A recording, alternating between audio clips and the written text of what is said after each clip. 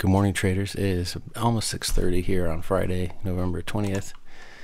I got up late this morning, and uh, it ended up costing me a little bit of money because uh, the top gainer on the list when I got up, and it probably was around 4 a.m. too, was TTNP, which is a penny stock. So uh, I put that on my list, and you can see here around uh, 4 a.m. it was selling off a little bit, but it had tons of volume. And then here's the first green candle, and it breaks the high of this candle. That would have been one possible entry for me.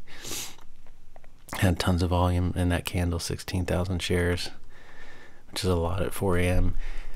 And uh, it made a like a one cent move here, right? Or maybe more. Was it 22 cents?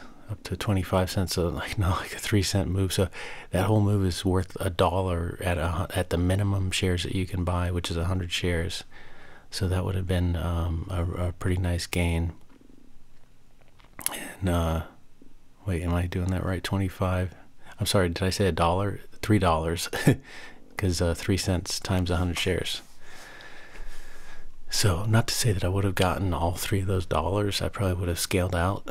Um, but I probably, you know, uh, see if I would have sold half, let's say like here, 24 cents, that uh, we're at 22 and a half. So that's like a, let's see, a dollar 50. So about 75 cents there, you know, and then I would say I would get at least a dollar, if not more, uh, out of that whole move. Um, and then the thing continued to kind of uh, pull back and, and run up and then it had its biggest run here but there's no way to to uh, know when that's going to happen. But I would have just probably just traded that move there. Um, so then it proceeded to make a new high of 30 cents and and did some pullbacks. And when I got um, in front of my computer it was it was right here doing this run so uh, I have it on video here. So just notice this area because you're going to see this right at the beginning of the video. There it is right there. So I saw that run up and I'm waiting for the pullback to take an entry because this looks like an ABCD setup. But um, the only thing, you know, I'm not too happy that I took this trade. Um, probably be saying something different if it was a winner. but um, the the thing is is that the the big move already happened, and one of my edges is in these types of trades is getting in super duper early, like like I was showing you guys, because um, if you get at the beginning of the move, there's a lot less selling pressure and a lot more buying pressure that forces the price up, and that had already happened. So I'm like trying to get sloppy seconds here, basically. Doesn't mean you know you can't make money doing that but it's a lot harder and you could you'll see what happened here. So this is the pullback I'm looking for and I had this this level marked out here about 27 cents was a 50% pullback which is pretty much ideal for these types of patterns. And since these candles were pretty big I also entered in a little bit early here because I'm supposed to enter for the break of a one minute candle. But um, since this was like a whole one cent, that's a dollar right there at 100 shares. I thought maybe I'll get in, you know, at the uh, support level and write it back up, which isn't really part of my plan. But um, so I I think I got in like right here anticipating that it, it's going to continue forward. Again, not really part of my plan. It bounces around. So I got 100 shares at uh, 27.5 cents. Now it comes back up to my entry. Now there, it popped up almost a, a half a cent, which is 50 cents at 100 shares if I sold all, right? But I'm trying to scale out. So watch this. I, I hesitated there um, because watch how long it was up there at that 27. I, I actually took my fingers off the keyboard right after I got in, which was stupid. because when you're scalping, sometimes the moves happen really fast, and you got to be ready to get out or to take half your shares in a split second. So watch this. I have my fingers off the keyboard here.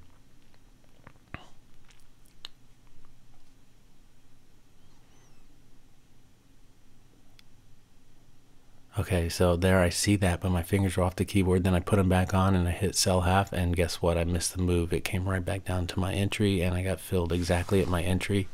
So that was like a nothing trade, uh, except for it cost me two cents. And there I, was mad now. the emotions were kicking in, and uh, it popped up a little bit again. And I thought, I'm going to get you this time. And then look what happened. it popped right back down to my entry again and uh, after that, guess what? I'm even more mad. and then I do it again. I mean, this is like a joke. It kept coming back down to my entry. I've done this quite a few times, and it usually works out pretty well. Um, you know, and this, but again, you know, there there are things that were already stacked against me in this trade because, like I said, I was I already missed the first big move, so um, this one is less likely to work out already so, uh, you know, I kind of deserve all this mess.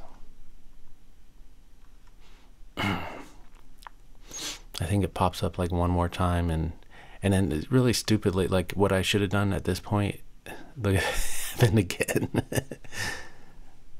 it's it's like it knows what I'm trying to do. Um there was probably some hesitation on that one too.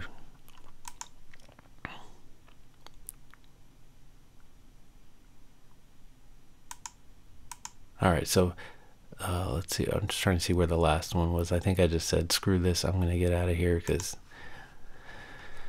you know, it is what it is. Now, I think at that point I had only, um, I think I showed it. Yeah. So here's the stock that I was trading. This is not a trade. It's just something I'm holding long term this was a TTNP, so I was down eight cents on that, and that's um, mostly due to all the sell orders because I probably had at least four sell orders, and they're two cents each, so it adds up to eight cents. Um, it's not from the trades because it was never below my entry when I hit the sell.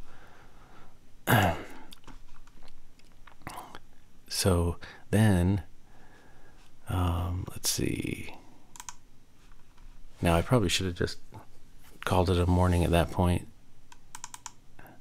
But then I thought, well, you know, um, maybe it was just my, uh, you know, I kind of felt like I got screwed a little bit on that.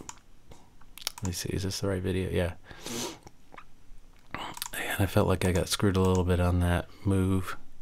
Huh, where? Oh, never mind. I'm sorry. This is the wrong video.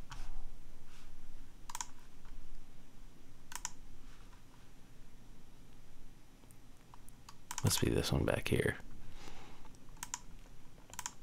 Yeah.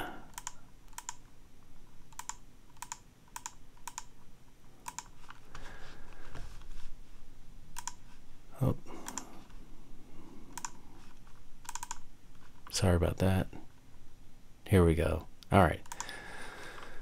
So now I'm thinking you know, maybe there was just more of a dip to be had. You know, none of this is good at this point. Just don't do this. You you you took a shot at a uh, at a less than ideal trade already because the big move already happened and it failed, and now you're gonna go back in and try to somehow, you know, get make it work or something. So uh, so here here was my entry. It was for the break of this candle which that in and of itself is okay but you know like i said everything else leading up to it was stupid and you know and i was definitely a little pissed about you know well first of all taking that previous trade and then the way it played out. So that's emotions and now so basically i'm trading on emotion here. And then look same thing pops up. And um, I, I can't remember if there was some hesitation there or not. Let's see. Uh, that it wasn't the fastest trigger on my part. I just wanted to see where those things popped up. Oh, they didn't show this time. Hmm. They usually show like all the buttons on the screen pop up when I hit my sell. So it's doing it again to me, which, you know, I mean, it's my fault for even being in this trade. Uh, I tried to sell half at that first pop and uh, I got filled right above, oh no, right at my entry. And now um, I did it again and I get filled just uh, what two hundredths of a cent above my entry. That doesn't do anything. Which that one I feel like it should have sold it higher, but it doesn't matter. This is there. I get finally uh, filled right around that twenty-seven cent mark.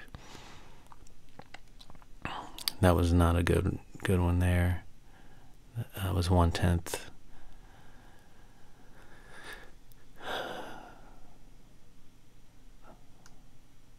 So now I just have so few shares, it doesn't really make a difference. That you know, um, if I would have sold all up here, I would have been probably like 75 cent gain. But but uh, you know, I just got chopped around there.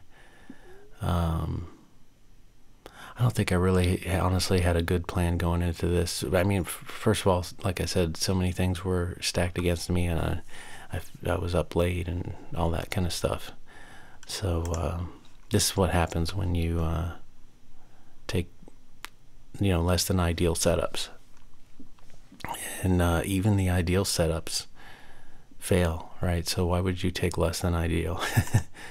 And that's what I did. So it amounted now um, altogether 12 cent loss which is not a big loss but it's a loss I didn't have to take. Um, there it is right there. Again these are not day trades this is the only day trade that I took was on this TTNP, and that's the two trades. And uh, altogether, those trades were about fifty dollars. So the loss, you know, versus the uh, cost is small, um, but it still cost me a lot to take those trades for my account size. That's like one quarter of my total day trading account. Um, and now I just have like 60 bucks left in there. So I don't know if I'm going to take any trades later. Just based on the way the pre market looks, it doesn't look. I mean, there could be something really good that pops up later, but uh, I'm debating because there's not a lot of volume at this time for there to only be four stocks trading above 100,000 shares. That's that's kind of light volume in the market. Um, so anyway, then uh, yeah, so so my I'm already in the red for today, 12 cents, um, and my week is now back in the red. It's mostly due again. I've talked about this in previous videos. Mostly due to these two trades here. One which is not and was not part of my plan. So um, that's really a loss I shouldn't have had to take or taken. And frankly, even today it was a loss I shouldn't have taken. Um, so that one might need to be yellow as well because it doesn't really fit my plan. Um, and then this one did fit my plan at the time, but I've adjusted it because I, I saw an error, you know, something that I didn't notice um, that now is part of my plan to keep me out of a trade like that. So, so I really think this should have been a green week, and um, maybe I'm just lucky. It's it's a very small red week. Um, but I'm really, you know, right now I'm just trying to uh, to prove the plan and prove the strategy. So I'm not looking at dollar signs. I'm just looking at red versus green. And uh, unfortunately, I kind of screwed up. You know, I myself messed up the uh, trading this week more so than the plan did. So I still think the plan is good and strong, and I just need to trade it more precisely.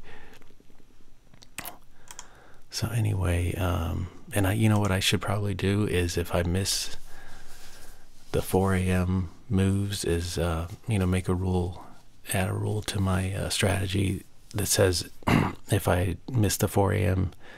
to just not trade in the pre-market because that's my favorite time to catch those moves is very early on. So anyway, I hope this helped you guys and. Uh, Hope you guys are trading better than me today. Stick to your plan, stick to your strategy. And then even if you take a loss, you won't be too upset about it. All right, take care.